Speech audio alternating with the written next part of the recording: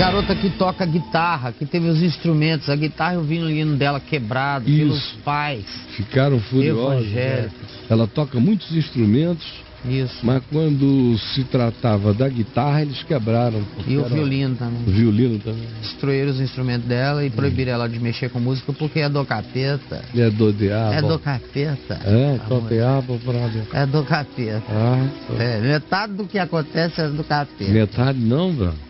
90, é, é né? tudo. Né? É do capeta. É né? tudo do capeta. É. é. Só tem capeta. Só tem. Só tem. Só tem capeta. Enfim.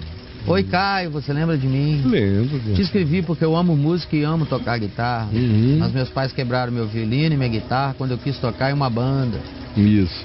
Meus avós viram a minha tristeza e convenceram meu meus pais a me deixarem na casa deles.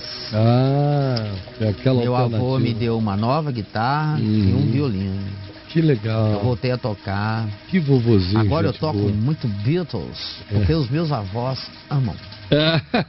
Eu tô mais do que feliz. Ah, Beijos, Caião. Beijos. Ah, que maravilha, minha filha.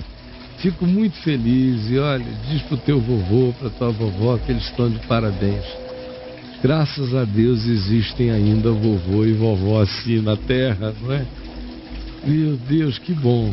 Fico feliz por você, feliz por eles e feliz que os seus pais não tenham sido mais insensatos do que já tinham sido. E diz pro teu avô que eu também sou companheiro de gosto musical.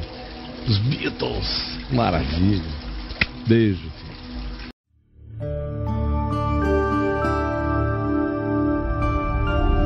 Vem me ver TV. O canal é você.